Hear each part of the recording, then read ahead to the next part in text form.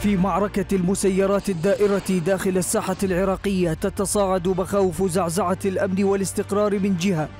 وتمادي السلاح المنفلت من جهة أخرى في الشارعين السياسي والشعبي. استهداف مقر العسكري لقوات البيشمركة والذي أعده خبراء تطور جديد وخطير في مسلسل الفصائل المسلحة. أكد رئيس الوزراء محمد الشيع السوداني بخطورته على معادلة الأمن والاستقرار في الداخل العراقي.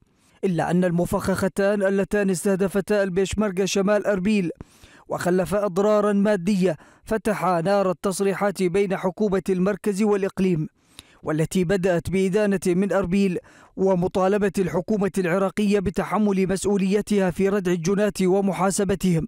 وهو ما صرحت عنه بالفعل حكومة بغداد بتوجيه السودان فتح تحقيق بالحادثة لكن تصريحات وصفها المتحدث باسم الحكومة والتي بعثت للغرابة وصفها بالمضللة على حد تعبيره والتي تضمنت حديثا عن تجويع مواطني الإقليم.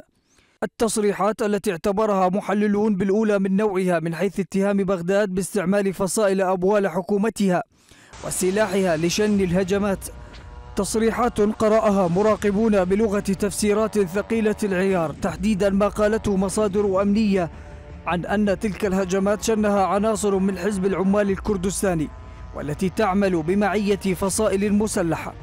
وعلى الرغم من أن بغداد تفاجأت بتلك الحادثة إلا أن حرب التصريحات التي احتدمت بين المركز والإقليم توضع في حسابات الحذر من الدخول في دوامة خلافات كانت بغداد وأربيل. قد طوت صفحته منذ وقت قريب.